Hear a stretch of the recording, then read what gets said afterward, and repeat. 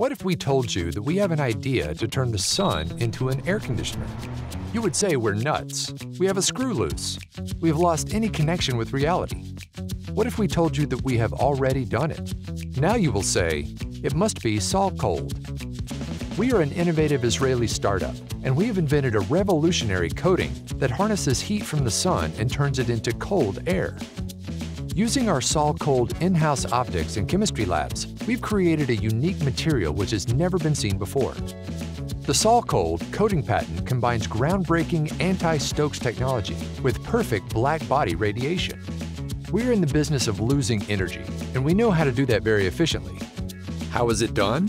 The double middle layers absorb the hot rays of the sun and re-emit them at higher frequencies, creating a loss of energy, while the bottom layer emits in the far infrared without absorption, ultimately achieving the power of cooling.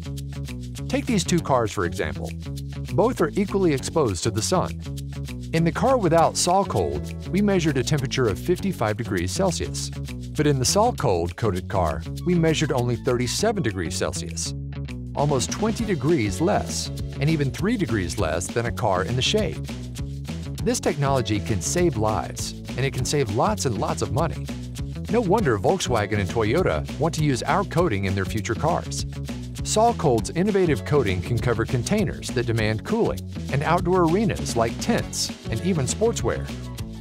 We can cover a whole building, but why stop at buildings when we can cover a whole city?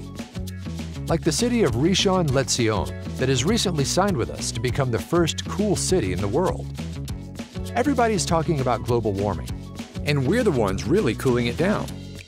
Join SolCold, the award-winning company, and you could also take part in the cooling revolution.